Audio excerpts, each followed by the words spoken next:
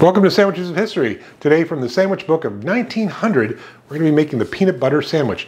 Now 1900, uh, Karl Landsteiner first identified an accurate system for typing blood, ABO, which we still use today. Uh, Louis Lunch supposedly made the first modern style hamburger sandwich, and uh, Xavier Cugat was born. That's right, Xavier Cugat. Now the title says peanut butter sandwich, but I gotta tell you, this is unlike any peanut butter sandwich I've ever had or seen. Add to a pot flour, sugar, mustard, pepper, whisk that together a little bit, add an egg, we turn on the heat, slowly whisk in some vinegar, and warm water. Now supposedly we cook this until it's uh, thickened.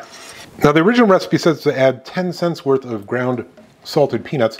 Uh, I'm doing a half recipe, so five cents, and five cents in 1900 is about a buck 38 today. Uh, I have no idea how many peanuts that is, so I'm just gonna add some.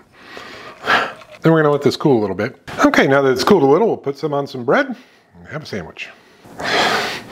Okay, let's give this peanut butter sandwich a go.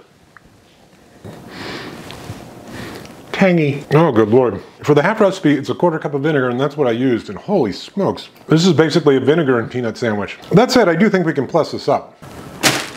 All right, so that was uniquely awful. Uh, I'm gonna give the peanut butter sandwich a score of zero. Uh, I can't even hork it down if I was starving because it's way too tangy, way too strong with the vinegar. And I don't get it. I cut the recipe in half and did exactly that.